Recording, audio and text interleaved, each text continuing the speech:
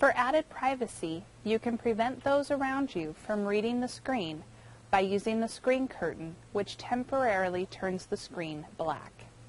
The screen curtain is also useful for sighted users who want to avoid reading the screen while learning to use VoiceOver. If you are using a Braille display, press VO Shift F11. If you're using VoiceOver gestures, triple tap with three fingers. To turn off the screen curtain, repeat the command or gesture. If you have Zoom enabled and accidentally activated the screen curtain, you can turn off the screen curtain by quadruple tapping the screen with three fingers.